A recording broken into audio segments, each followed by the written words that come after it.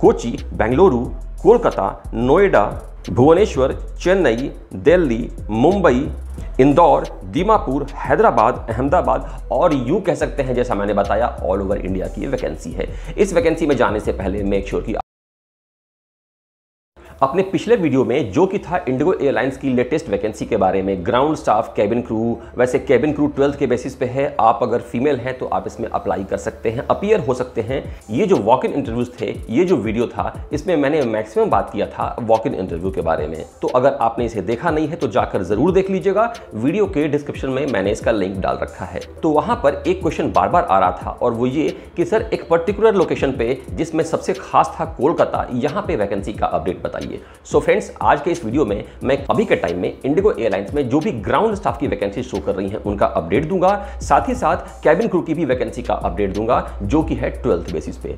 तो स्टार्ट करते हैं वीडियो और सबसे पहले बात करते हैं कैबिन क्रू की वैकेंसी के बारे में। अगर आप मेरे रेगुलर व्यूअर हैं या फिर एयरलाइन एयरपोर्ट के प्रोसेस या फिर जॉब रिक्वायरमेंट्स को लेकर अवेयर हैं तो आप ये जानते होंगे कि इंडिगो एयरलाइंस में कैबिन क्रू बनने के लिए केवल फीमेल कैंडिडेट ही एलिजिबल हैं। क्वालिफिकेशन होनी चाहिए ट्वेल्थ पास हाइट आपकी होनी चाहिए 155 सेंटीमीटर कोई भी विजिबल टैटू नहीं होना चाहिए इस तरह से, जो कि यूनिफॉर्म पहनने के बाद दिखे इसके अलावा एडिशनल रिक्वायरमेंट्स आप देख पा रहे हैं वीडियो के स्क्रीन पे। तो अभी के टाइम में इंडिगो एयरलाइंस में जो कैबिन क्रू की वैकेंसीज हैं, वो है कोची बेंगलुरु कोलकाता नोएडा भुवनेश्वर चेन्नई दिल्ली मुंबई इंदौर, दीमापुर, हैदराबाद, अहमदाबाद और यूँ कह सकते हैं, जैसा मैंने बताया ऑल ओवर इंडिया की वैकेंसी है। इस वैकेंसी में जाने से पहले मेक श्योर कि आप अप्लाई कर लेंगे। अप्लाई करने के बाद जो कोड मिलता है, आपको अपने रिज्यूम पर लिखना है और वीडियो के स्क्रीन पर जो भी डॉक्यूमेंट्स आप देख पा रहे हैं, इन सभी को लेकर और इस तरह से तैयार होकर आपको चले जाना है इंटरव्यू के लिए। तो दोस्तों, अब बात करते हैं जो मेन वैकेंसी जिसके बारे में मैं वीडियो बना रहा हूँ,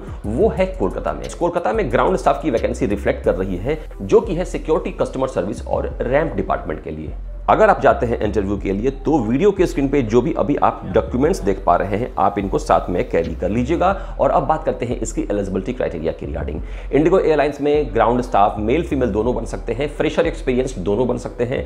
आप कहीं से भी बिलोंग करते हैं, किसी भी स्टेट किसी भी सिटी से, आप ग्राउंड स्टाफ बन सकते हैं। क्वालिफिकेशन आपकी होनी चाहिए। ग्रेजुएशन साइंस हो कॉमर्स हो आर्ट्स हो, किसी भी डिवीज़न में आप पास हो, कोई फ़र्क नहीं पड़ता। जो एडिशनल रिक्वायरमेंट्स हैं, वो आप देख पा रहे हैं वीडियो के स्क्रीन पे। मेक श्योर कि आपके पास पासपोर्ट हो। अगर नहीं है तो आप अप्लाई ज़रूर कर लीजिएगा।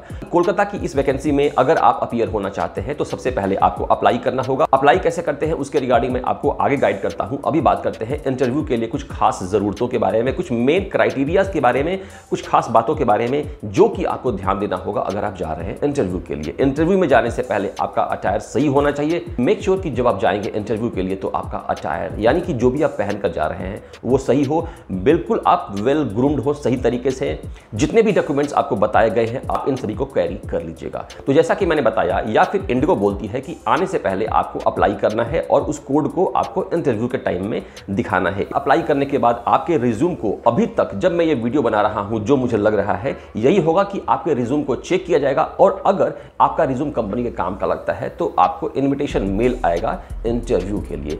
तो अगर आप इंडिगो एयरलाइंस में अप्लाई करना चाहते हैं तो नीचे वाले वीडियो को और इंटरव्यू की तैयारी करने के लिए ऊपर वाले वीडियो को ज़रूर देखिएगा। Best of luck